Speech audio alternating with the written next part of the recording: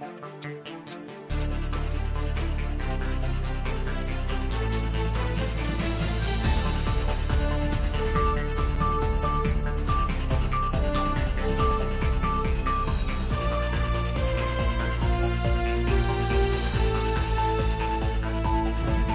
14 მილიარდის სრულ დაპირება. 14 მილიარდი არის ზუსტად ის ევროპული საერთო დახმარება ის ფონდებიდან, რომელსაც რა თქმა უნდა საქართველოს მიიღოს. ქვაქვეყნებთან ერთად თუ დამოუკიდებლად, ალბათ. დამოუკიდებლად. 10-მდე ქვეყნისთვის განკუთვნილი ევროკავშირის 6-წლიანი ფონდი, რომელსაც ნაციონალური მოძრაობა ქართულ ამომრჩეველს პირდება. ესაა ჩვეულებრივი ფუილი, მოუკლავი დათვის ტყავს სანაწილებენ, საუბრობენ რაღაც ფულზე და გონია თუ ამით უნდა იყიდონ საქართველოს მოსახლეობას. როგორ ნაწილდება ბრიუსელის გრანტები და რა სიტყვება სააკაშვილის პარტია?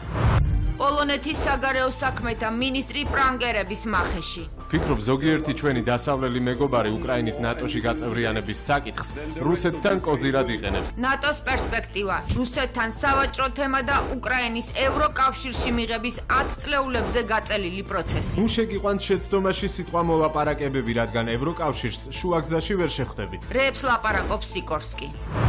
59 ჭრილობა. ყველა მათგანი სიცოცხლის დროინდელი. უბადო პატიმრობა განსაკუთრებული სისასტიკით ჩადენილი 21 წლის გოგოს მკვლელობისთვის. და ვერმუის ნებისმიერი აღიარება და უნანიება 14 პარასპორტსმენიდან 9 მედალოსანი. ჩვენ პარალიმპიურ თამაშებამდე გავაკეთეთ განცხადება, რომ ოლიმპიური თამაშების ანალოგიურად იგივე ოდენობის შილდოები იქნებოდა დაწესებული და რა თქმა უნდა ეს შილდოები სათანადოდ გაიცემა უმოკლეს ვადებში. სახელმწიფო ცერემონიების სასახლეში პარალიმპიელების დახვედრის ცერემონია იმართება. მინდა რომ კიდევ იმდენი გავაკეთო, რომ კიდევ ბერჯერ მქონდეს ასეთი მომენტები ცხოვრებაში. ეთერშია კურიერი 9 საათზე. ნათია ლაზაშვილთან და დავით კაკულიასთან ერთად. თქვენ უყურებთ კურიერ 9 საათზე დღეს 12 სექტემბერია გიყვები დღის მთავარ თემებს და მოვლენებს საღამოშიდობის. საღამოშიდობისა. ამ წუთებში საგანგებო ბრიფინგი იწყება საქართველოს გენერალურ პროკურატურაში. ჩვენი ინფორმაციით საქმე ეხება ბიზნესმენ ბესიკ ხარძიანის მკვლელის ფარიდ გურბანოვის ექსტრადირებას საქართველოსის თურქმა სამართალდამცველებმა სტამბულში აიყვანეს. კილერი მკვლელობიდან 9 წლის შემდეგ სასჯელს საქართველოს ციხეში მოიხდის ჩვენ პირდაპირ ეთერში ვრთავთ გენერალურ პროკურატურას, სადაც რამდენიმე წამში საქმის დეტალები გახდება ცნობილი. მოგესალმებით. საქართველოს გენერალური პროკურატურის შემოგლობის საფუძველზე დღეს 12 სექტემბერს ბესარიონ ხარძიანის შეკვეთით განზრახველობაში მჯავრდებულის ფარიდ გურბანოვის თურქეთიდან საქართველოში ექსტრადირება განხორციელდა. ფარიდ გურბანოვი საქართველოს სამართალდამცავი ორგანოების მიერ ბესარიონ ხარძიანის განზრახველობის ფაქტზე ინტერპოლის საერთაშორისო არხებით 2015 წლის 28 აპრილიდან იძებნებოდა. დადგენილია რომ ბესარიონ ხარძიანის განზრახველობის მიზნით 2015 წლის 15 იანვარს ფარიდ გურბანოვი ოლექსანდრ დამეტოვის სახელზე შედგენილი უკრაინის რესპუბლიკის მოქალაქის ყალბი პასპორტის გამოყენებით თანამზრახველთან ერთად თბილისის საერთაშორისო აეროპორტში ჩამოფრინდა. ჩამოფრენისთანავე დამნაშავეებმა პროლობისთვის მომზადება დაიწყეს და ამ მიზნით თბილისში პეკინის გამზირზე ხანძლივადი საცხოვრებელი ბინა იქირავეს. მათ სპეციალურად შეიძინეს Honda-s მარკის ისეთი მოპედი, რომელსაც რეგისტრაცია არ ესაჭიროებოდა. გადაადგილდებოდნენ ჩაფხუტით და ორმხრივი ქურთუკით. კოლობისთვის ხელსასაყრელი დროის შესარჩევად ფარიდ კურბანოვმა და მისმა თანამზრახველმა მორიგეობით დაიწყეს ბესარიონ ხარძიანის გადაადგილების კონტროლი. დამნაშავეების თვალთვალისას და ნაკირავე ბინაში ცხოვრებისას მაქსიმალურად ინარჩუნებდნენ კონსპირაციას, ისინი სისტემატიური სისტემატიურად იცვლიდნენ ტანსამოს, ცვლიდნენ გადაადგილების მარშრუტებს და საშუალებებს. 2015 წლის 28 მარტს, შვადღის საათებში ბესარიონ ხარძიანის რომელიც ფარიდ გურბანოვი თვალთვალებდა ქალაქ თბილისში. მარავდის ქუჩაზე მდებარე საკუთარ საცხოვრებელ სახლში მივიდა. სადარბაზოში შესვლისას მას შეხვდა ფარიდ გურბანოვი და მაკაროვის სისტემის მაყუჩიანის ესაცრული იარაღიდან ბესარიონ ხარძიანის მიმართულებით სამი გასროლა, მათ შორის თავის არეში ერთი საკონტროლო გასროლა განახორციელა. აღნიშნული შედეგად ბესარიონ ხარძიანი ადგილზე გარდაიცვალა. იმავე დღეს ფარიდ გურბანოვმა და მისმა თანამზრახველმა სარფის საბაჟო გამშვები პუნქტის გავლით საქართველოს დატოვეს. ფარიდ გურბანოვი სამივე ინსტანციის სასამართლოს მიერ ჯავრდებულია შეკვეთით განზრახველობის, ცეცასოლი იარაღისა და საბრძოლო მასალის მარსაწინააღმდეგო შეძენა, შენახვა ტარების, საქართველოს სახელმწიფო საზღვრის უკანონო გადაკვეთისა და ყალბი ოფიციალური დოკუმენტის გამოყენების ფაქტებს და მიჯილი აქვს უადო თავისუფლების აღკვეთა. რაც შეეხება ფარიდ გურბანოვის თანამზრახველს, უცხო ქვეყნის მოქალაქეს, მას კროლობაში დახმარებისთვის მიჯილი აქვს 19 წლის თავისუფლების აკვეთა და მისი დაკავებისა და ქართული მართლმსაჯულების წინაშე წარდგენის მიზნით წითელი ცირკულარით საერთაშორისო ძებნა გრძელდება. ქსურს მადლობა გადაუხადოთ ჩინაგან საქმეთა სამინისტროს, სახელმწიფო უსაფრთხოების სამსახურსა და ფინანსთა სამინისტროს საგამოძიებო სამსახურს. საქართველოს პროკურატურასთან ერთად ერთობლივი საგამოძიებო ჯგუფში გაწეული ეფექტიანი მუშაობისთვის, რის შედეგადაც შესაძლებელი გახდა განსაკუთრებით მძიმე დანაშაულის გახსნა.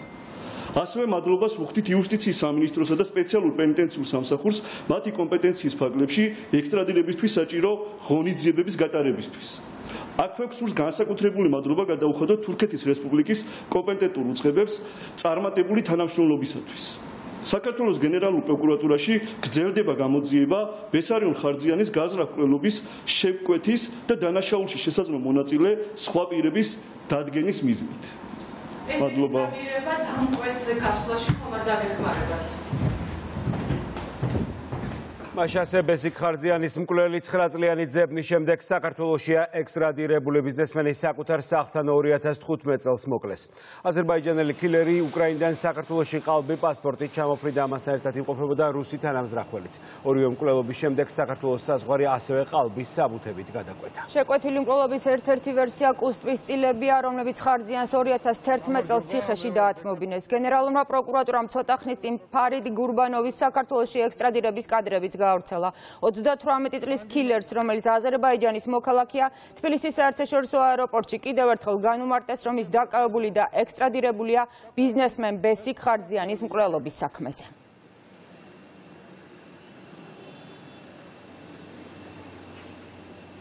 გამარჯობა, მე ვარ ბექა კვიციანი, გენერალური პროკურატურის საგამოძიებო ნაწილის უფროსის მოადგილე.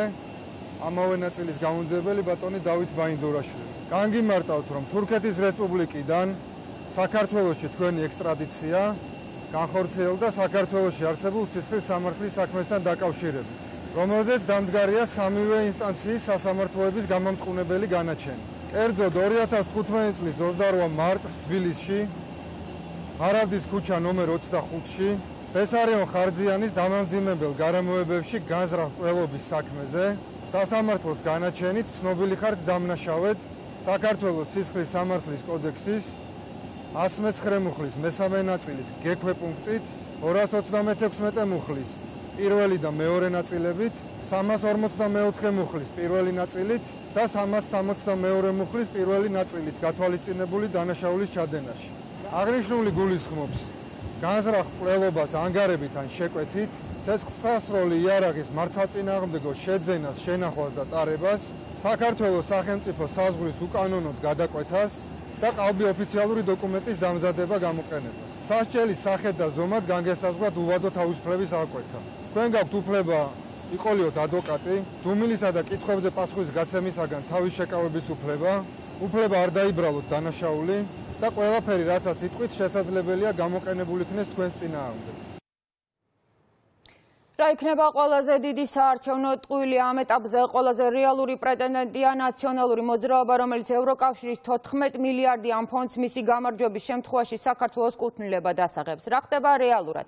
14 მილიარდი ევრო სხვადასხვა გრანტი ბრიუსელს 6 წელზე აქვს გაწერილი. მისი ბენეფიციარები კი 2021 წლიდან უკვე არიან ალბანეთი ბოსნია ჰერცეგოვინა კოსოვო ჩერნოგორია ჩრდილოეთ მაკედონია სერბეთი და თურქეთი. სააკაშვილის პარტია კი ამომრჩევლს პირდება რომ იმ წუთიდან როდესაც ევროკავშირი ევროპული მოლაპარაკებას გახსნის თბილისი 14 მილიარდს მიიღებს. ნაციონალურ მოძრაობას ეს 14 მილიარდი საკუთარ ბანერებზე აქვს გამოკრული გაწერილი აქვს საათამდე ქვეყნისთვის განკუთვნილი გრანტების საქართველოსი ათვისების გეგმაც.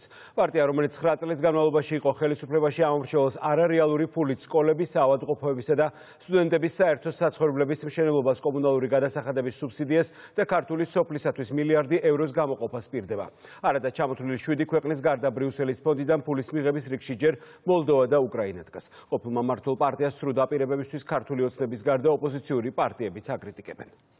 გაყინულია მათ შორის მაგალითად 14 მილიარდი ევროს დაფინანსება, რომელიც შეგვიძლია გამოვიყენოთ მაგალითად ოჯახების გადასახადების სუბსიდირებისთვის, საცხოვრებელი სახლების მშენებლობისთვის, დევნილებისთვის და ნაციონალური მოძრაობის მთავარი საარჩევნო დაპირება პარტიის თავმჯდომარემ ღამის კურიერის ეთერში არაერთხელ გააჟღერა. თინა ბუგუჩავა ირწმუნება, რომ ევროკავშირთან მოლაპარაკებების გახსნა ქვეყნის ბიუჯეტისთვის 14 მილიონი ევროს მომენტალურ ტრანშს ნიშნავს. ოპოზიციური პარტიის თავმჯდომარემ გუშინ ისიც თქვა, რომ ამ თანხის მოზიდვა საქართველოსთვის მხოლოდ მისი გუნდი შეძლებს, რაც ინფრასტრუქტურულ და სოციალურ პროექტებში აისახება. ოპონენტს ღამის კურიერშივე უპასუხა საპარლამენტო უმრავლესობის ლიდერმა. მამუკა მდინარაძემ ოპოზიციური ძალა სიცრუესა და საზოგადოების მოტყუების მცდელობაში დაადანაშაულა. უბრალოდ მშრალად იტყუება, აი ყველაფრის გარეშე მოლაპარაკებები გაუხსნეს უკრაინას და მოლდოვას ამ მიმართულებიდან 14 მილიარდი მიცა რომელიმე ვინმე ხო არ მიუწიათ რამე ხო არ გამოგვჭა. ესე დახმარება არ გვჭირდება არაფერში, კაც უკრაინას რის გამოც ეხმარებიან, ესე დახმარებას არ მივიღებთ. არ ვერთვებით ომში და მასე დახმარება არ გვჭირდება. მაგრამ მოლდოვა ხო არ არის ომში? 14 მილიარდი მიიღო თუ არ მიიღო? გითხრა ხვალ რომ მოლდოვა ელოდება ეხა 14 მილიარდს. უბრალოდ ჰაერში ასე იტყუება. კურიერი დღეს დაინტერესდა რეალურად თანხმედრაშია თუ არა 14 მილიარდი ევრო და ევროკავშირში ინტეგრაციის პროცესი. ირკვევა, რომ ევროგაერთიანებამ ყველა ასპირანტი ქვეყნის ეკონომიკის სტიმულირებისთვის 2021 წელს 14 მილიარდიანი ფონდი შექმნა, რომელიც 2027 წლამდე 7 ბენეფიციარი ქვეყნის ეკონომიკურ სტიმულირებას უნდა მოხმარდეს. აპლიკანტ ქვეყნებს, რომლებსაც ჯერ უკრაინა და მოლდოვაც არ დამატებია, შესაძლებლობა ექნებათ საგრანტო პროექტებში წარმატების შემთხვევაში გარკვეული თანხები მიიღონ. დღეს ნაცმოძრაობის ლიდერებმა ვეღარ უარყვეს, რომ მათ მიერ დაპირებული 14 მილიარდი ერთ ქვეყანას არ ეკუთვნის. თუმცა ამტკიცებდნენ, რომ ყველა საგრანტო პროექტის მოგება მათ შეუძლიათ იმ ფონზე, როდესაც ევროგაერთიანების ფონდის მიზანი ყველა აპლიკანტის სტიმულირებას გულისხმობს.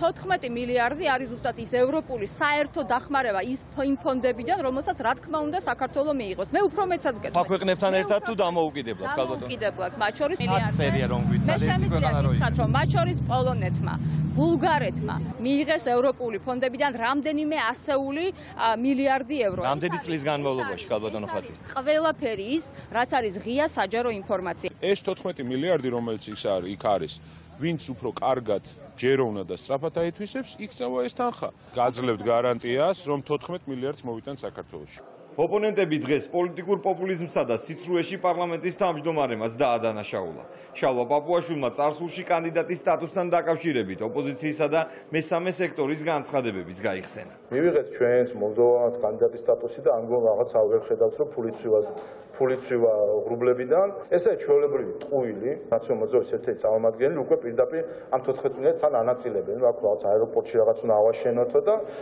ესე მოუკლავი დათვის ტყავს ანაწილებენ ნაცმოძრაობას კომპეტენცია და დაპირებები დღეს კოლეგების ნაწილმაც დაუწუნა. ოპოზიციონერი პოლიტიკოსების აზრით 14 მილიარდზე საუბარი ცრუ დაპირებაა, რომელიც ყოფილი სახელმწიფო პარტიის დაბალ კვალიფიკაციაზე მიუთითებს. როგორც ყოველთვის ამჯერად ამჯერადაც საქმე გვაქვს კვალიფიკაციის პრობლემასთან. რაღაცის სწორად ვერ წაკითხვასთან ზოგადად და მე შესაბამისად აი ამის პოლიტიკური მიზნით გამოყენებასთან. ნაციონალური მოძრაობისგან რა დაიჯერება ის რომ დაიჯერებოდეს 14 ციფრი ერთადერთი იმას მეუბნება რომ 14 მილიარდ ევროს მოცულობის ფონდი ეს არის პრეექსეშენ ანუ გაწევრიანებამდე ხელშეწყობის ფონდი რომელიც მიემართება ყველა სტატუსის მქონე ყველა ქვეყნის განვითარებაზე 14 მილიარდი ევროს დაპირება, რომ სრული სიცრუეა დღეს კიდევ ერთხელ გამოაშკარავდა. ამბობენ სახელმწიფო გუნდში, სადაც მიიჩნევენ, რომ ნაცმოძრაობა ევროკავშირის თემით საზოგადოების დაბნევას ცდილობს. მათი თქმით, ოპონენტების ანტისახელმწიფოებრივი ქმედება მხოლოდ საარჩევნო ხმების ნებისმიერ გზით მოპოვებას უკავშირდება. ნაციონალური მოძრაობის საარჩევნო კამპანია აღმოჩნდა ფეიკი. ფაქტობრივად ისინი დეзинფორმაციულად ცდილობდნენ მოეტყუებინათ ჩვენი საზოგადოება, მაგრამ ეს არ გამოვიდა. თუმცა სიცრუე და დეзинფორმაცია მათ სავიზიტობარათად რჩება. რა 14 მილიარდზე არის საუბარი? მოდით რაღაცა დოკუმენტაციით გვაჩვენონ, ან ფაქტებით გაამყარონ. ანუ ისინი ეწევიან ჩვენი საზოგადოების ტყუილში და შეცდომაში შეყვანას. ანუ მათ რაგონიათ, რომ ჩვენი საზოგადოება ვერაზროვნებს, რატომ აყენებენ ესეთ შეურაცხყოფას ჩვენ საზოგადოებას? საპარლამენტო არჩევნებამდე 6 კვირა რჩება წინა საარჩევნო კამპანიის პარგლებში. ნაციონალური მოძრაობა მოქალაქეებს არწმუნებს, რომ ევროკავშირისგან იმ 14 მილიარდ ევროს მოიზიდავს, რომელიც რეალურად 10-მდე აპლიკანტი ქვეყნის ეკონომიკის 6 წლიანი სტიმულირებისთვის არის განკუთვნილი.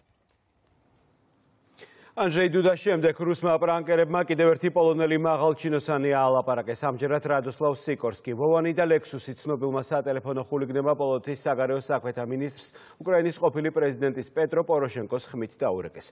ის რაც ევროკავშირის კულუარებში ტრიალებს საჯეროდ არის გამოტანილი. პოლონეთის ნომერ პირველი დიპლომატი აცხადებს რომ უკრაინის ნატოში გაწევრიანება სავაჭრო თემაა ევროკავშირში მიღების პროცესი კი აწლეულებზე გაწერილი.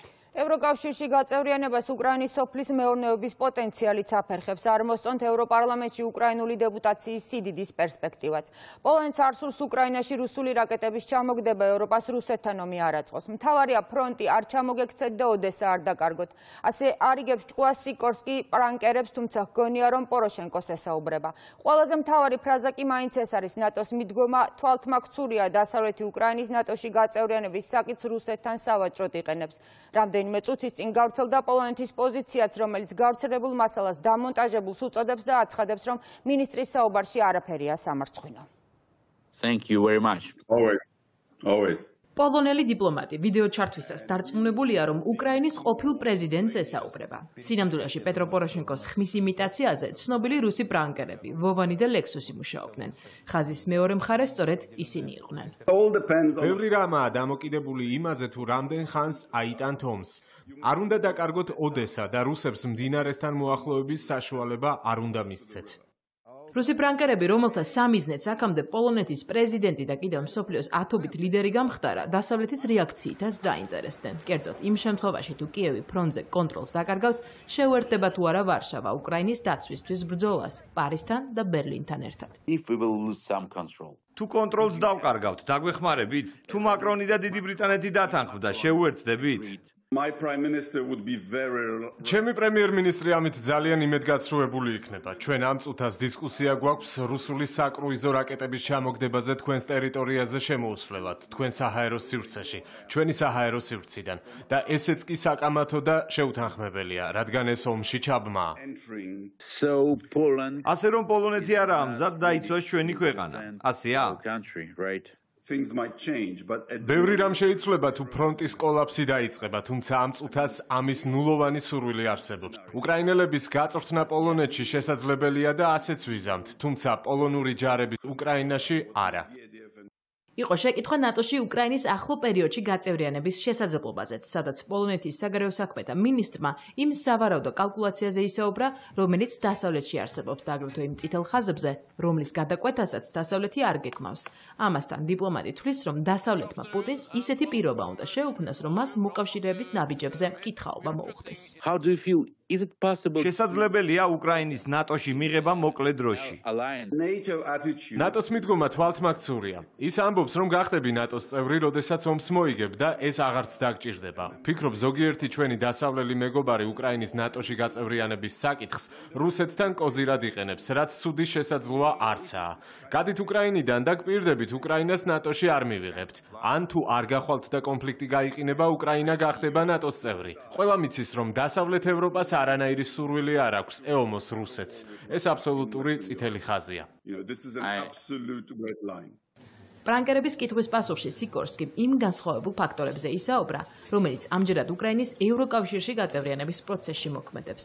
ეს იმ კითხვის საპასუხოდ, სადაც ვოვანმა და ლექსუსმა მას ურსულა ფონ დერ ლაიენის მიერ უკრაინისთვის შეთავაზებული გაწევრიანების სპეციალური გზა უხსენეს. ევროკავშირში გაწევრიანება ნაბიჯებად მოხდება, როგორც ჩვენ შემთხვევაში იყო. დრო დაჭირდება შენგენის ზონაში შესვლას და გარდამავალ პერიოდს. ასე რომ ეს 10 წლეულების პროცესია. სხვა სიტყვებით რომ ვთქვათ, ნუ შეგიყვანთ შეცდომაში სიტყვა მოლაპარაკებები, რადგან ევროკავშირს შუაგზაში ვერ შეხვდებით. ერთადერთი რაზეც მოლაპარაკებები შეიძლება გქონდეთ, ესაა გარდამავალი პერიოდის ხანგრძლივობა. ყველაზე რთული თავი მოლაპარაკებებში სოფლის მეურნეობა იქნება, რადგან თქვენი სოფლის მეურნეობა ზედმეტად კარგია, ზედმეტად კონკურენტული. თქვენ გაქვთ უდიდესი ფერმები და მიწები. პოლონეთში საშუალო მიწათმფლობელობა 11 ჰექტარია. ასე რომ თქვენი წევრობა გამოიწვევს სოფლის მეურნეობის პოლიტიკის სრულ გადახედვას, რაც ევროკავშირში დიდი პოლიტიკური პრობლემაა. I agree. კეთანხმებით, ანუ ევროკავშირს ძალიან არ სჭირდება ეს.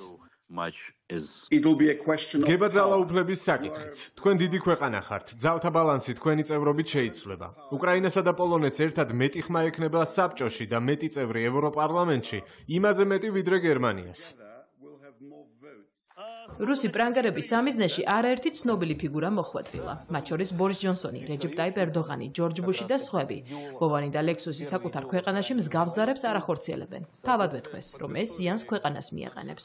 მათი სატელეფონო ზარების შინაარსი კი ძირითადად რუსული ხელისუფლების ინტერესში შედის, რის გამოც ბევრი პრანგერების FSB-სთან აპელაციის საკითხს აყენებს.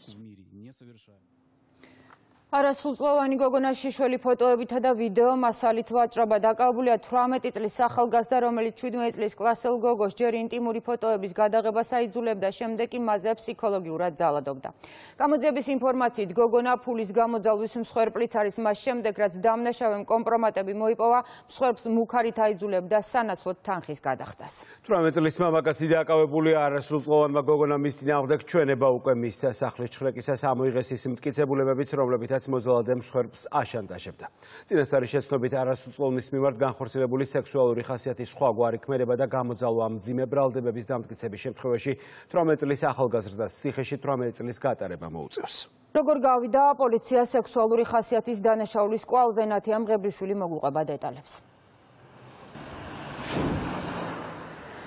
კურიერის ინფორმაციით სექსუალური ხასიათის დანაშაულის კვალზე სამართალდამცველები მას შემდეგ გავიდნენ, რაც 17 წლის გოგოს ბიძები დააკავეს. უფრო კონკრეტულად კი ჩვენი ინფორმაციით რამდენიმე თვის წინ არასრულწლოვნის ოჯახმა იეჭვა ფაქტის შესახებ, იმის შესახებ, რომ გოგონა იყო ძალადობის მსხვერპლი და 18 წლის ბიჭს ფიზიკურად გაუსწორდნენ. ცემის ფაქტზე ჩატარებული საგამოძიებო მოქმედებების ასევე გამოკითხვის შედეგად სამართალდამცველებმა გაარკვიეს, რომ 17 წლის გოგოს მიმართ ხორციელდებოდა მუქარა შანტაჟი და ასევე ხდებოდა მისი პირადი ცხოვრების ხელყოფაც. ლილოს დასახლებაში ერთ-ერთ საცხოვრებელ კორპუსთან სამართალდამცველები გამთენიისას მივიდნენ არასრულწლოვნის მიმართ ჩადენილი სექსუალური ხასიათის დანაშაულისთვის 18 წლის მამაკაც ხელბორკილების საკუთარ ბინაში დაადეს. კურიერი დღეს სავარაუდო მოძალადის საცხოვრებელ მისამართზე მივიდა. ბინის კარი არ გააღეს, თუმცა გვითხრეს, რომ ძიმე დანაშაულის შესახებ საუბარი არ სურდათ.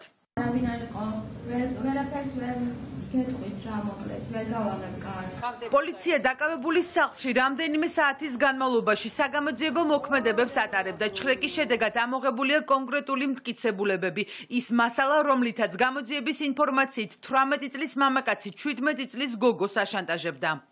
ასე თქვენ რომ ახალი მაცხოვრებლებია ქირით არიანო და არ ვიცი გამოძიების ვერსიით ბრალდებული არასრულწლოვანს აიძულებდა შიშველ მდგომარეობაში ფოტოები გადაიღო და სოციალური ქსელით მისთვის გადაეგზავნა. ფოტო და ვიდეო მასალის მოპოვების შემდეგ 18 წლის მამაკაცმა მსხვერპლისგან თანხის გამოძალვაც გადაწყვიტა და მისი დაშანტაჟება დაიწყო. ემუქრებოდა რომ თუ კონკრეტულ თანხას დათქმულ დროს არ მისცემდა, ფოტოებს გაუვრცელებდა. სამართალდამცველებმა ასევე დაადგინეს, რომ 17 წლის გოგო გარყვნილი ქმედების მსხვერპლიც იყო. კურიერის ინფორმაციით არასრულწლოვანმა მოზარდის თავიდან მოშორება არაერთხელ სცადა, თუმცა უშედეგოდ. 18 წლის მამაკაცის წინააღმდეგ გამოძიება პირადი ცხოვრების ხელყოფის, სექსუალური ხასიათის დანაშაულის და გამოძალვის მუხლებით მიმდინარეობს. ძიმე დანაშაულის კონკრეტულ დეტალებზე საუბრობს ბრალდებულის ადვოკატი. ინტერესების დამცველ საგამოძიებო მოქმედებების შედეგად მოპოვებული მტკიცებულებები ბრალეულობის დასამტკიცებლად არასაკმარისად მიაჩნია. ბრალს აღიარებს ნაწილობრივ, ნაწილობრივ იმით, რომ ის ტელეფონში არსებული ეს მოკლედ ამას უყარდა თავისი კლასელი კითხე თუ რა გინდა და მიყვარდაო და რა ვიცი აი ესე მქონდაო ეს სურათები მეტი არაფერი არ სხვა დანიშნულება ამას არ ქონდაო თითქოს ურთიერთობა ქონდათ ერთმანეთთან გარკვეულწილად და რეალურად ამ ბიჭმა არა ეგეთიო არ მომხსარო კიცებულებს გავიცანი არის ამ გოგოს რა ქვია ჩვენება და ტელეფონიდან ამოღებული ინფორმაცია სხვა არაფერი. ბრალდებული ახლა წინასწარ პატიმრობაში იმყოფება ბრალის დამტკიცების შემთხვევაში მას 15 წლამდე პატიმრობა ემუქრება. ძიმე განაჩენი უმძიმესი დანაშაულისთვის 21 წლის ქეთევან ჯავახიშვილის განსაკუთრებული სისასტიკით მკვლელობისთვის ოთარ ციმდელიან სასამართლომ დღეს სამუდამო პატიმრობა მიუსაჯა. მოსამართლემ არ გაითვალისწინა ადვოკატის არც ერთი არგუმენტი, რომელიც აქცენტს მხოლოდ მარტივ მკვლელობაზე აკეთებდა და გამორიცხავდა, როგორც გენდერის ნიშნით მკვლელობას, ისე განსაკუთრებული სისასტიკით ჩადენილ დანაშაულს. არადა 21 წლის ქალს 59 ჭრილობა აქვს მიყენებული და ყველა მასში, როდესაც ის ჯერ კიდევ ცოცხალი იყო. სასჯელის უმაღლესი ზომისთვის გადამწყვეტი კიდევ ერთი ფაქტორი გახდა. ბრალდებული საბოლოო სიტყვა მოსამართლემ ვერ მოისმინა ვერც გულწრფელი აღიარება და ვერც მონანიება, რასაც შეიძლება სასამართლო დაყრდნობოდა. ექსპერტებიც კი მიზერელე დამოკიდებულებაზე მიუთითებდნენ. ქეთი ჯავახიშვილი 28 თებერვალს შეყვარებულმა ლილოში საკუთარ სახლთან მოკლა. იტალია და აშენ. ჩასულები. ამ სიტყვებით დაარღვია ოთარ ცინდელიანმა შვიდთვიანი დუმილი და მის მიერ ჩადენილ მძიმე დანაშაულზე საუბარი ბოლოს ხდომაზეც აღარ ისურვა. განაჩენი ცნობილია 21 წლის ბრალდებულს ულვადოპატიმრობა 21 წლის შეყვარებულის ქეთი ჯავახიშვილის გენდერის ნიშნით განსაკუთრებული სისასტიკით ჩადენილი განზრახ კვლელობის გამო მიესაჯა. მოსამართლე გიორგი გელაშვილმა დღეს ულვადოპატიმრობის შეფარდების მიზეზებზეც ისაუბრა. სამართლოსათვის ასე ვთქვათ თავის საკითხი იყო უნდა ყოფილიყო გადიან უნდა ყოფილიყო საკითხი. ბოლო მომენტი იყო გრაგდების საბოლოო სიტყვა სადაც ვერ მოისმინა ეს მუქფერი აღიარება და უნანიება, რასაც შესაძლებელია და უნდა გამყარებოდა სასამართლო. განაჩენის გამოცხადებამდე სასამართლოს დასკვნითი სიტყვით მიმართა დაცვის მხარემ ადვოკატები ცდილობდნენ დაემტკიცებინათ, რომ ცინდელიანს დანაშაული არც განსაკუთრებული სისასტიკით და არც გენდერის ნიშნით ჩაუდენია. უფლებად დამცველებს დარბაშივე უპასუხა საქმის პროკურორმა. ოთარ ცინდელიანმა ჩაიდინა გენდერის ნიშნით ქეთევან ჯავახიშვილის განსაკუთრებული სისასტიკით უყურებაა. ასე გამარჯვებას ეს დაცვის მხარე და დაგანებული ვერ სასამართლო მეტაება. სამართლო აქცენტს აკეთებს სუპერმა დაკარგა გონება. აუცილებელია რომ ის საკითხი არსებობდეს სასამართლო სამართლის შესაბამისი დასკვნა. როგორ შეიძლება სამედიცინო ექსპერტმა კითხვას გარდაცვლილა განსაკუთრებით ყოლეკანი, კიდევ ერთხელ გოდის სასამართლოსთან, მაგრამ ჯერ არ აქვს ისეთი ტექნოლოგია, რომ გარდაცვლილა გამოვიზარდო და დავარდო. თავში რომ 10 დაარტყა, ზოგში 7 დაარტყა, 5 დაარტყა, 6 დაარტყა, ამ დროს უკაცინდელი არ იფარესებდა ადამიანის კანჯვა. პრობლემა დავაბადე, ამდენჯერ რომ მომფერება უწოდოთ ქედაო ჯავახიშვილის მა, როცა უნდა სიგარეტა დააწოვო, ხელს როცა ხელზე როცა უნდა ცენტრა და როცა უნდა ფსიქოლოგიურად იზოლაცია, ის შეიძლება ეს მოგონილია, როგორ ხალხმა ყარა, არ დაგასრულებო, მაგრამ ეს არ არის განაჩენის მოსასმენად სასამართლოში მივიდა მოკლული ქეთი ჯავახიშვილის დედაც, თუმცა პროცესი დაცვის მხარის დასკვნითი სიტყვის მოსმენის შემდეგ დატოვა. ერთადერთი მოთხოვნა, რაც 21 წლის გოგოს ოჯახს ჰქონდა ბრალდებულის უმკაცრესად დასჯა იყო. თქვენი მოთხოვნა რა არის? როგორც მშობლის. კანონის ისჩურეთ. მე დავაფიქსირე ჩემი პოზიცია სასამართლოზე. რა მოისმინეთ ადვოკატის მხრიდან პროცესს? უბრალოდ არაფერს არ ვისმენთ. კაცრესად დასჯა. ხო, თქო. განაჩენი მოისმინეს, თუმცა სხდომათა დარბაზი განმარტებების გარეშე დატოვეს ცინდელიანის ადვოკატებმა ერთადერთი მხარე, რომელმაც საქმის გარემოებებზე კიდევ ერთხელ ისაუბრა, სახელმწიფო ბრალდება იყო. პროკურორი, რომლის მტკიცებულებებით სასამართლომ სრულად გაიზიარა, მიიჩნევს, რომ მოსამართლის გადაწყვეტილება კანონიერი და სამართლიანი იყო. მოცემულ შემთხვევაში, ბრალდებულის პიროვნებიდან გამომდინარე, ჩადენი დანაშაულებრივი ქმედების ხასიათიდან გამომდინარე, იმ ფაქტიდან გამომდინარე, რომ ერთხელაც არ უღიარებია ბრალდებულის ჩადენი დანაშაული და მინიმუმ არ მოუნანიებია, ბრალდ სასამართლო მიიღო კანონიერი სამართლიანი სასჯელის ნაწილშიც. 21 წლის ქეთი ჯავახიშვილი 28 თებერვალს ლილოში სახლთან ახლოს სასტიკად მოკლეს. სამართალდამცველებმა ცხელკვალზე დააკავეს მოკლულის შეყვარებული ოთარ ცინდელიანი რომელიც ამასთანავე მოკლულის ნათლიის შვილია ახალგაზრდა ქალს ცივი იარაღით 59 ჭრილობა სხეულის თითქმის ყველა ნაწილზე ჰქონდა მიყენებული. დანაშაულის ჩადენის შემდეგ ცინდელიანი ჯერ შემთხვევის ადგილიდან მიიმალა თუმცა რამდენიმე საათში საგამოძიებო უწყებაში თავად გამოცხადდა. პროკურატურის ინფორმაციით მას ქვეყნის დატოვების მცდელობა ჰქონდა არც ნათესაური კავშირები და არც ოჯახის წევრების საქმიანობა კანონით არ შეიძლება იყოს საარჩევნო ადმინისტრაციის არც ერთი თანამშრომლის საქმიანობის შეფასების კრიტერიუმი აცხადებს ცესკოს თავმჯდომარე. გიორგი კალანდარიშვილი საარჩევნო ადმინისტრაციის თანამშრომლების მიმართ განხორციელებულ ზეწოლაზე და დეზინფორმაციის გავრცელებაზე საუბრობს ცენტრალურ საარჩევნო კომისიაში აცხადება, რომ იმ შემთხვევაში თუ სამომავლოდ დაფიქსირდება საარჩევნო ადმინისტრაციის თანამშრომელთა შესახებ პერსონალური ინფორმაციის სავარაუდოდ უკანონო დამუშავების მცდელობა საკითხ პერსონალურ მონაცემთა დაცვის ინსპექტორი შეისწავლის. გადაიხედება მსგავს მედია საშუალებასთან თანამშრომლობის საკითხიც. საუბარია ტელეკომპანია პირველის ერთ-ერთი წარმომადგენლის მხრიდან საარჩევნო ადმინისტრაციის თანამშრომელთა შესახებ პერსონალური ინფორმაციის სავარაუდოდ უკანონოდ დამუშავების მცდელობაზე. სახეზე არ არის საარჩევნო ადმინისტრაციის თანამშრომელთა პერსონალური ინფორმაციის, კერძოდ კი ნათესაური კავშირებისა და აღნიშნული ნათესავების დასაქმების ადგილების დამუშავების სამართლებრივი საფუძვლები, დასმული კითხვების შინაარსი და ფორმა შეუძლებელია ემსახურებოდეს რაიმე საჯარო ინტერესს გარდა იმისა, რომ განხორციელდეს საარჩევნო ადმინისტრაციის თანამშრომლების მართლ პარტიასთან დაკავშირების მცდელობა. ყოველ ფაქტთან დაკავშირებით კი მიღებული იქნება კანონით გათვალისწინებული ყველა ზომა, მათ შორის ინფორმირებული იქნება ყველა საერთაშორისო პარტნიორი. იგი ოპოზიციური პარტიის წარმომადგენლები და მასთან ასociated ტელეკომპანიები ახდენენ ინფორმაციის უკანონო დამუშავებას და ადამიანების ბულინგს, ეწოლას და შანტაჟს. პირველ რიგში უნდა აღვნიშნო, რომ ალბათ ამ ადამიანებს არ აქვს წაკითხული ელემენტარული კანონი. ოპოზიციის მიზანი არის ძალიან მარტივი.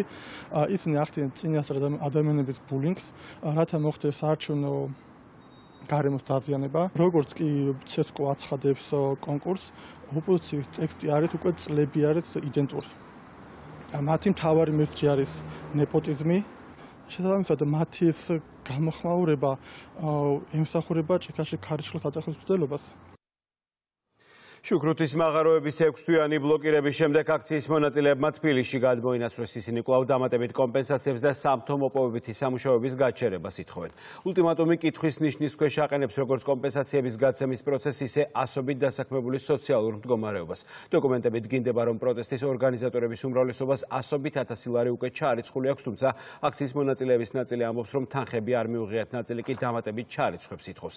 კომპანია ჭიათურა მენეჯმენტი მოლაპარაკებების საფუძველზე კომპენსაციების გაცემას იმ შემთხვევაში განაახლებს თუ მაღაროებში მუშაობა აღდგება. ვერანაირ კომპენსაციას ვერ გაცემდა ჩვენ მიმართულებით. სოფელ შუქრუთში მცხოვრები გიორგი ნეფარიძე ირწმუნება, რომ მადნის მომპოვებელი კომპანიისგან კომპენსაცია არ მიუღია. საბანკო დოკუმენტაციის მიუხედავად პროტესტის ერთ-ერთი ორგანიზატორი ამტკიცებს, რომ ჭიათურა მენეჯმენტი აღებულ ვალდებულებას არ ასრულებს. გადარიცხვის დოკუმენტაციით კი დგინდება, რომ კომპანიას მხოლოდ გიორგი ნეფარიძის სახელზე 96000 ლარზე მეტი აქვს გადახდილი. კომპენსაცია არ გაქვს დაგებული. უამრავ სისულელეს საუბრობენ არა მხოლოდ კომპანიის წარმომადგენლები, უამრავი ადამიანი და სისულელეებზე კომენტარებს სისულელეებზე კომენტარის არ ვაკეთებ. BBC ბანკის ამონაწერი ხო აჩვენებს, რასაც ავრცელებს ოფიციალურად დოკუმენტების გაყალბებაში და ქთამის აღებაში ნიკოლოზ მირიან ბიჯიგაშვილი ავრცელებს ყველაფერს. ბრალდებებს მირიან ბიჭიკაშვილმა მომსახურეობის სააგენტოდან გამოთხოვილი ცნობით უპასუხა. დოკუმენტით ირკვევა, რომ კომპანიის წარმომადგენელი არც ერთ ეტაპზე ნასამართლები არ ყოფილა.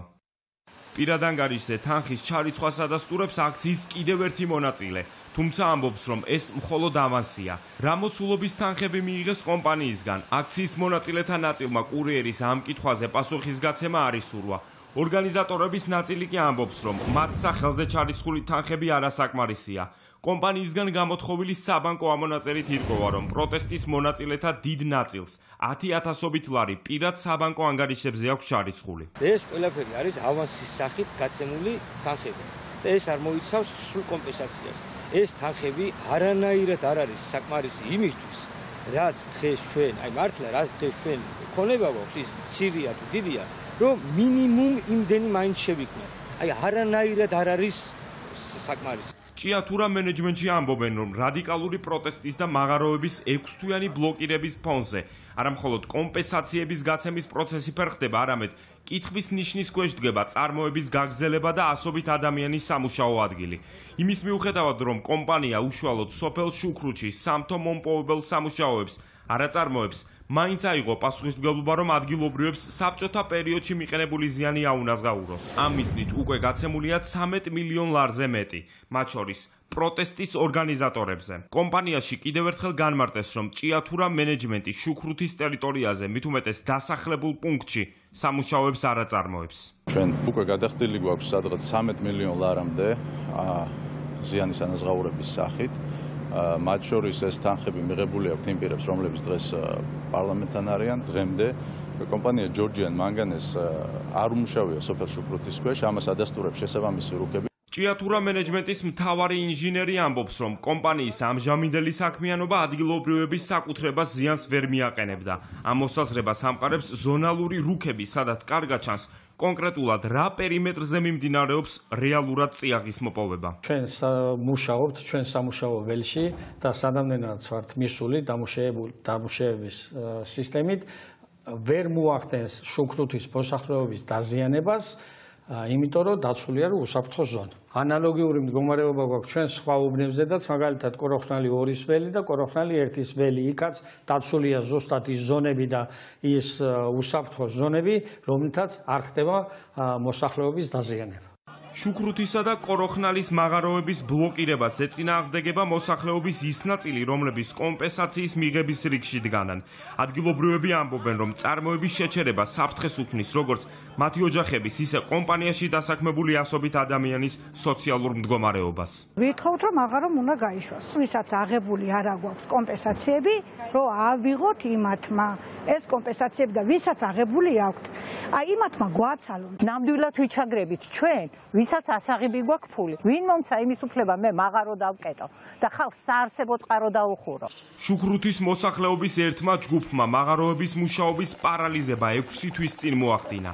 აქციის მონაწილეები დამატებით კომპენსაციებს და კომპანიის მუშაობის გაჩერებას ითხოვენ.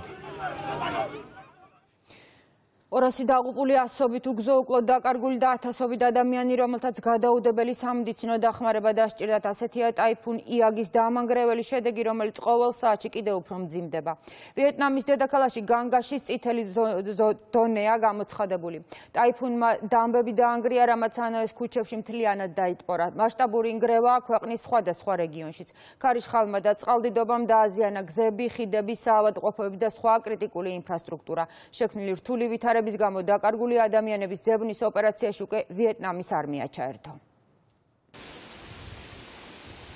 ვიეტნამის სტიქიური უბედურების ზონაა. ქვეყანაში ტაიფუნი იაგი მძვინვარებს. შტორმის გამო მდინარე ჰონქას აუზში წარმოქმნილმა ღვარცოფულმა ნაკადმა ათობით სოფელი გაანადგურა. დაიღუპა 200 ადამიანი, 1000-მდე ფიზიკურად დაზიანდა. ასობით ადამიანი კი დაკარგულად ითვლება. ამგვარი გამანადგურებელი წყალდიდობა არასდროს მინახავს. მე და ჩემმა მეზობლებმა სახლები დავკარგეთ. ტერიტორია უნდა დავტოვოთ, თუმცა წყალში სიარული ბევრ ადამიანს უჭირს. Trung tâm thị trấn Thất Khê.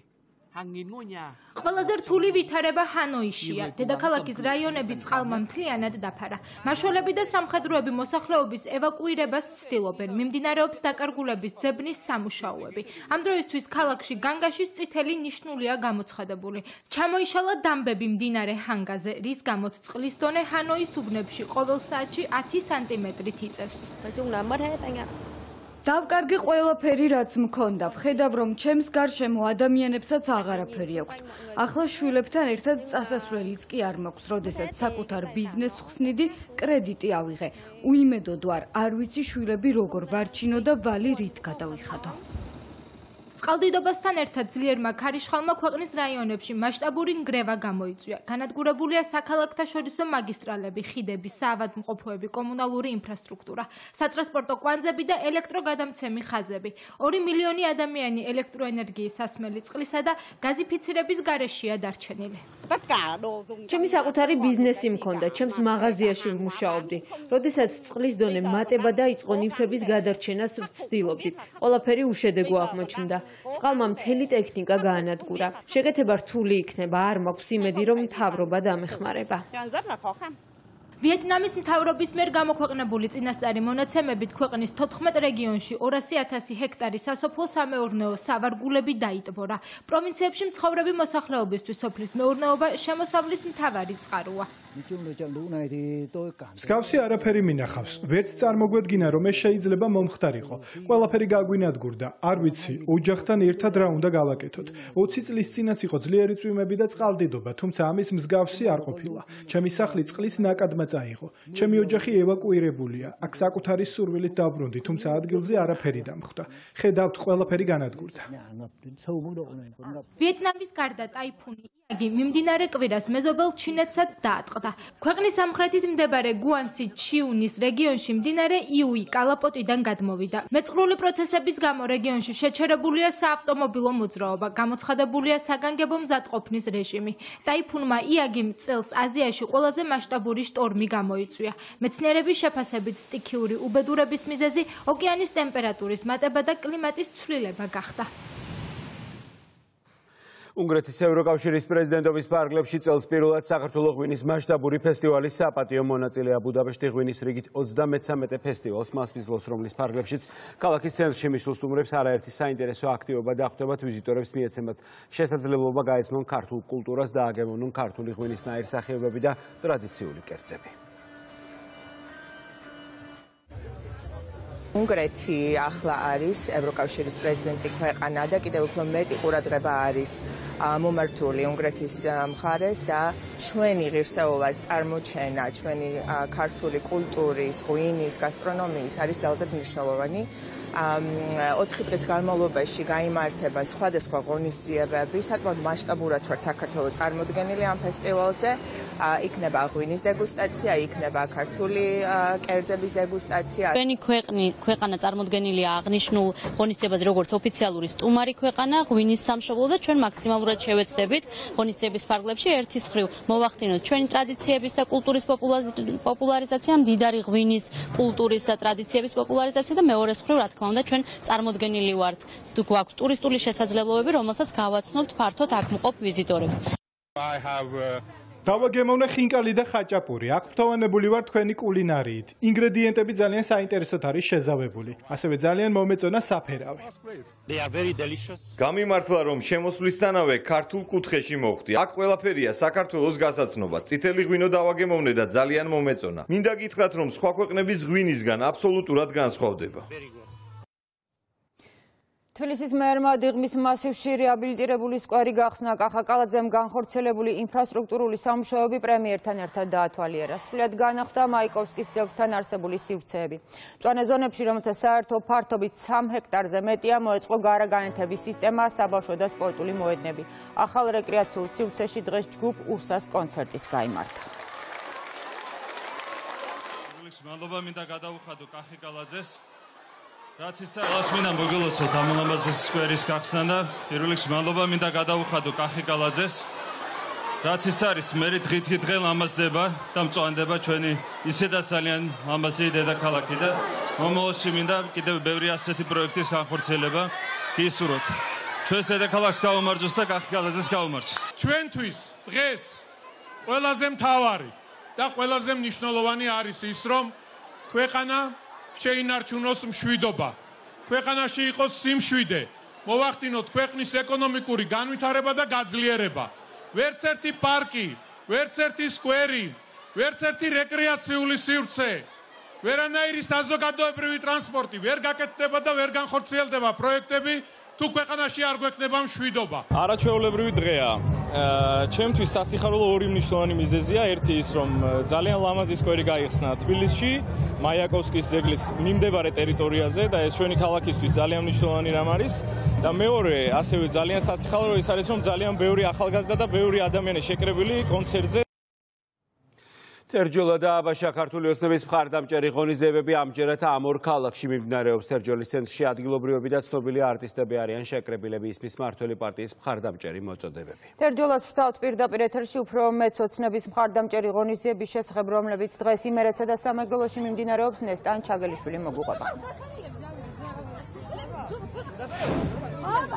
მშვიდობა, კეთილდღეობა და ღირსებით ევროპაში ეს გზავნილები რამდენიმე საათის განმავლობაში ისმოდა თერჯოლაში, სადაც ქართული ოცნების მხარდამჭერი ღონისძიება გამართა. ქართული შემსრულებლები შეიკრიბნენ, რომ კიდევ ერთხელ გამოეცხადებინათ მხარდაჭერა მართველი გუნდის და იმ პოლიტიკისათვის, რაც მათი თქმით მნიშვნელოვანია ქვეყანაში მშვიდობისთვის.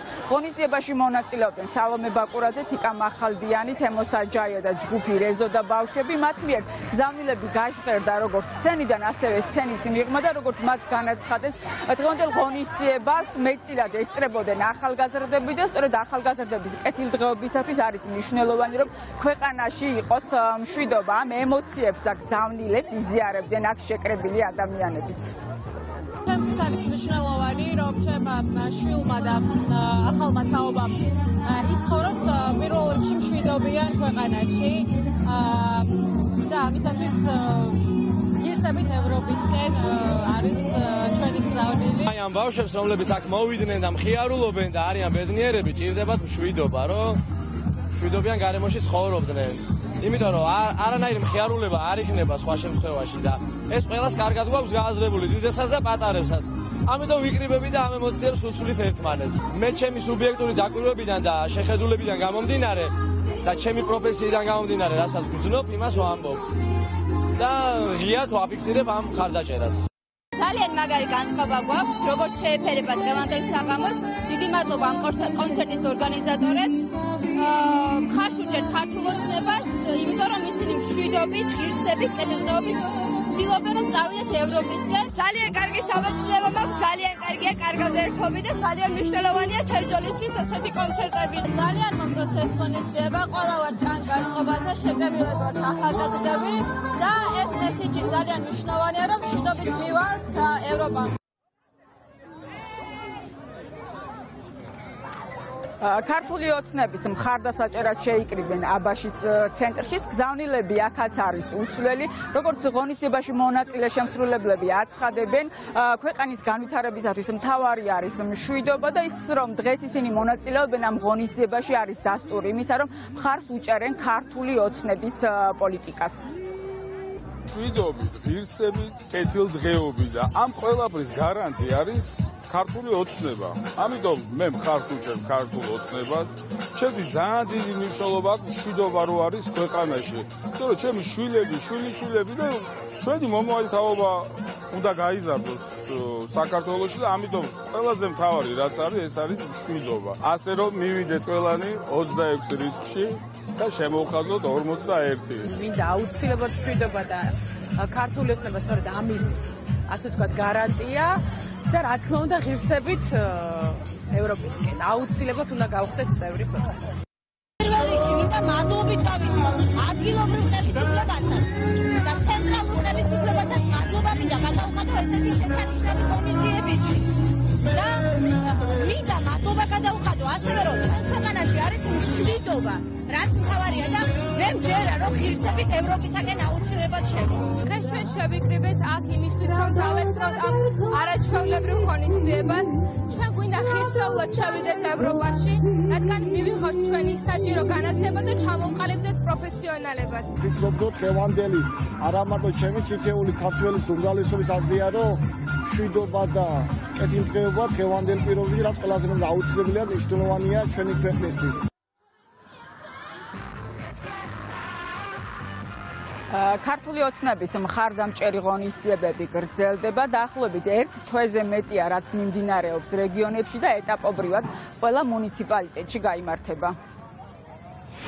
მადლობა ეს ყონე სტანჩაგელიშვილი და ჩვენი პირდაპირ ჩართვა თერჯოლიდან. პარიზიდან ტრიუმფით დაბრუნებულების ტრიუმფალური დახვედრა თბილისში 14 პარასპორტსმენიდან 9 მედალოსანი 1 ოქრო, 4 ვერცხლი და 4 ბრინჯაო ასეთია პარაოლიმპიელების წარმატება პარიზი 2024-ზე. ისტორიული შედეგის მთავარ გმირებს მთავრობამ დღეს სპეციალური მიღება ცერემონიების სასახლეში მოუწყო. საქართველოს 180 ქვეყნიდან ჩინეთთან ერთად მედლების რეკორდი მოხსნა. მადლობას ფულადი ჯილდოებიც ახლავს თან. ოქროს მფლობელს მილიონი, ვერცხლი ნახევარი მილიონი. ბრინჯაოს პრიზიორებს კი 250000 ლარის პრემია გადაეცემათ. პრიზების გარეშე არც ის ხუთი სპორტსმენი დარჩა, რომლებიც მედლები ვერ მოიპოვეს. პარასპორტსმენები და მწვრთნელები უმაღლეს სახელმწიფო ჯილდოებზეც არიან წარდგენილნი. მადლობა ამ სიამაყესთვის და მადლობა იმ სიხარულისთვის, რომელიც განგვასწევინეთ. პარალიმპიელების დახვედრის ცერემონიაზე დღეს ყველაზე ხშირად სპორტსმენების მისამართით ნათქვამი მადლობა ისმოდა. პარიზის პარალიმპიურ თამაშებზე მიღწეული წარმატებები პრემიერ-მინისტრმა ჩემპიონებსა და პრიზიორებს კიდევ ერთხელ მიულოცა. ირაკლი კობახიძის განცხადებით, პარალიმპიურ ჩემპიონს სახელმწიფოსგან მილიონი, ვერცხლის მედალოსნებს 500000, ბრინჯაოს მედალოსნებს კი 250000 ლარი გადაიცემათ. პრემიერის თქმით, გადაწყვეტილება ორდენებზე წარდგენის შესახებაც უკვე მიღებულია. ქართველი პარასპორტსმენების ისტორიულ შედეგებზე ისაუბრა პარლამენტის თავმჯდომარემაც. საქართველოსი პარასპორტი ზოგადად ძალიან სწრაფი ტემპით ვითარდება.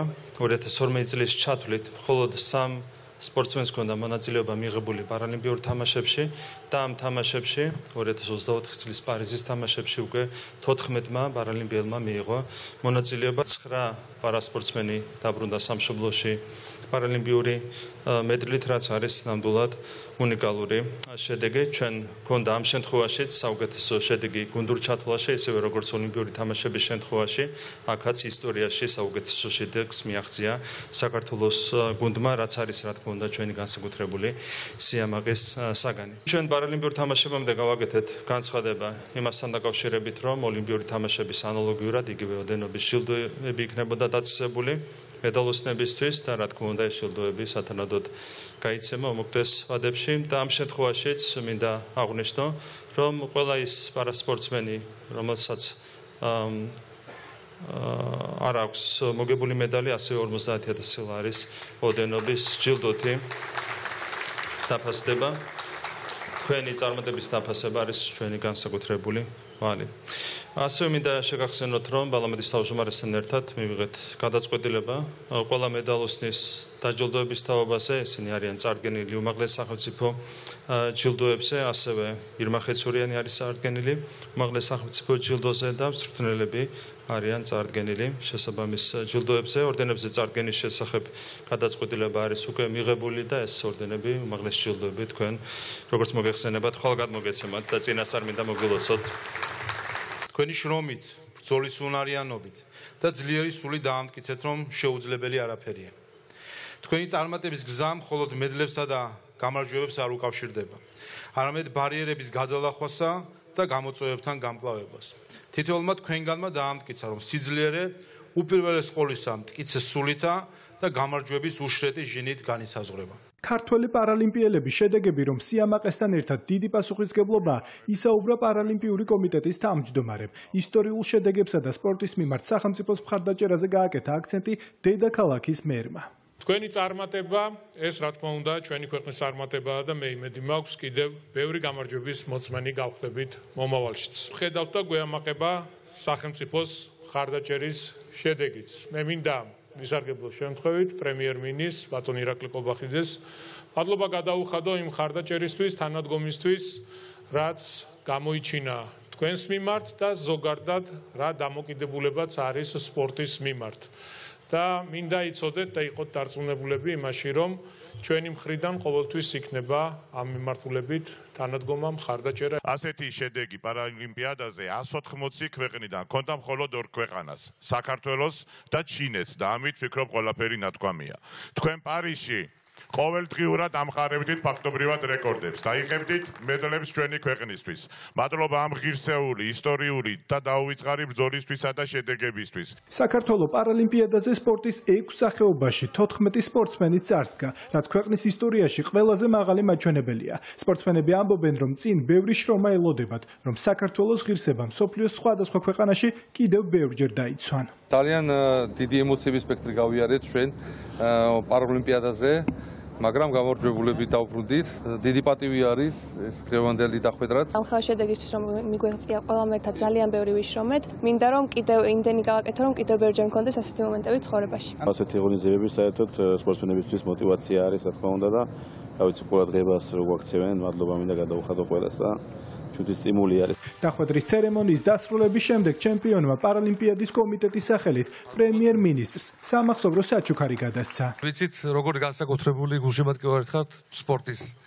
და ეს არის ის ის ჩვენი იარაღი, ეს არის ეს ბირთვი, რომელმაც გაიარა სერტიფიცირება ორჯერ. ეს იყო ერთი მსოფლიოში იაპონიაში ქალაქ კობეში, სადაც რეკორდი მოხსენით და გავემარჯვეთ, ოქროს მედალი წამოვიღეთ და მეორე არის პარალიმპიურ თამაშებზე პარიზში, სადაც ასევე ორი რეკორდი წამოვიღეთ. მინდა რომ თქვენთან იყოს ეს თქვენს პირად კოლექციაში დარჩა. ქართულმა პარალიმპიელებმა პარიზში ერთი ოქროს, ოთხი ვერცხლისა და ოთხი ბრინჯაოს მედალი მოიპოვეს. და კურიერის ბოლოს ტრადიციულად სპორტული სიახლეები ლაშა დვალიშვილი გაგვაცნობს სპორტის ამბებს ლაშა საღამშვიდობის. საღამშვიდობის. საღამშვიდობის მოგესალმებით. დავიწყოთ რეკორდით. შავზღვაზე მსოფლიოს რეკორდი დამყარდა გიორგი გახელაძემ ყველაზე ხანგრძლივი მანძილის გავლა შეძლო მოტოციკლით ღია წყალში. ენდურო მოტომრბოლელმა ქობულეთის ახალი ბულვარის მიმდებარე სანაპიროდან ფოჩი მალთაყვის სანაპირომდე წყალზე 100 კილომეტრამდე საათი სიჩქარით 33 კილომეტრი 33 წუთში გაიარა გახელაძემ ავსტრალიელი რაიდერის რობი მედისონის შედეგი გაუმჯობესა და სოფლიოს რეკორდი დაამყარა. საქართველოს რეკორდების ფედერაციამ დავარეგისტრირეთ ეს რეკორდი ადგილზე და გადაუგზავნით შესაბამის საერთაშორისო ორგანიზაციებს შემდგომ ასაღიარებლად. დაახლოებით ნახევარი წლის წინ დავიწყე მომზადება პატარა სატესტო გასვლები ტექნიკა შეუკვეთეთ ჩამოიყვანეთ ახალი მოტოციკლეტი დავამზადებინეთ კურსტარულად ჩემს მეგობარს ეს თხილამური. ძალიან ბედნიერი ვარ იმიტომ რომ ჩვენმა შრომამ გუნდის თანადგომა შედეგი გამოიღო. გულოცავთ გიორგის ამწარმატებას აღლაკი ჩოგბურთის შესახებ 15 სექტემბერს მზიურის კორტები დევისის თასის გათამაშებას უმასპინძლებს, რომელშიც ქართველი ჩოგბურთელები მექსიკის წარმომადგენლებს დაუპირისპირდებიან. სოფლიოს მეორე ჯგუფის პირველ რაუნდში საქართველოს ღირსებას საბაფურცელაძე, ალექსანდრე ბაქში, ზურატ ყემალაძე და ალექსანდრე მეტრეველი დაიცავენ. საქართველოს ჩოგბურთელთა ნაკრები მოახლოებული ასპარეზობისთვის სრული დატვირთვით ემზადება და გუნჩის გუნჩი განწყობაც ოპტიმისტურია. ცოტა უფრო ფავორიტები ვარ ჩვენ, მაგრამ ეს არაფერს არ ნიშნავს, ყოველთვის მაქსიმუმი უნდა გააკეთო, ბოლომდე იბრძოლო, ჩოგბურთი საერთოდ სპორტი არ არის სახეობა, სადაც ფავორიტი აუცილებლად იმარჯვებს. როგორც მოგეხსენება ჩარშან ძალიან არა ფავორიტები ვიყავით ტურნირის ნაკრებთან, მაგრამ შევიძლით გამარჯვება, ამიტომ ჩვენ ჩვენი მაქსიმუმი უნდა გავაკეთოთ. მექსიკა საკმაოდ ძლიერი გუნდი ყავს, მაგრამ თვლი რომ შანსები საკმაოდ თანაბარია. ჩვენ გვაქვს პუბლიკის უპირატესობა, რაც დევისის თასის ტურნირზე ძალიან ბევრს ნიშნავს. ველოდები ძალიან დიდ ბრძოლას, მზად ვართ, ვარჯიშობთ და იმედია დავამარცხებთ. მაგრები ვართ ეს დვალიშვილები რა.